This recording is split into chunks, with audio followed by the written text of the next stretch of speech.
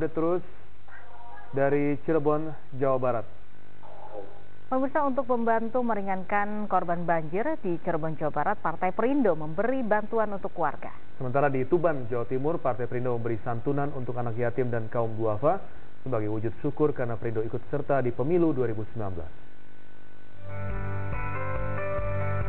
Terus mendekatkan diri dengan masyarakat merupakan salah satu strategi Partai Perindo agar meraih hasil optimal di pemilu 2019. Di Cirebon, Jawa Barat, Partai Perindo menyalurkan bantuan sembako bagi ratusan warga yang rumahnya terendam banjir akibat meluapnya sungai Cimanuk di Desa Wanakaya dan Grogol, Kecamatan Gunung Jati, Cirebon. Di lokasi ini setidaknya ketinggian air mencapai 2 meter, sehingga memaksa ratusan warga terpaksa mengungsi ke tempat yang lebih tinggi. Mudah-mudahan mereka diberi ketabahan karena ini sebuah musibah setidaknya bantuan kami eh, sedikit meringankan beban mereka. Ya senang ya, perhatian, ada yang peduli gitu tuh. Nah, ya sedikit membantu kami lah gitu tuh. Iya gitu.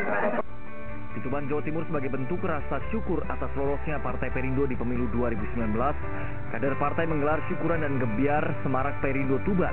Tak ketinggalan dalam acara ini Perindo juga memberikan santunan dan membagikan sembako kepada 50 anak yatim dan kaum duafa. Ini dalam rangka tasyakuran Partai Perindo yang telah lolos verifikasi.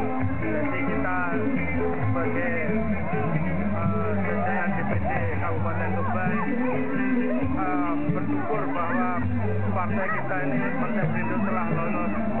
Partai Perindo akan terus konsisten mewujudkan program-program yang bermanfaat bagi masyarakat. Hal ini dilakukan sesuai dengan visi dan komitmen Partai Perindo untuk Indonesia sejahtera. Tim Liputan iNews melaporkan.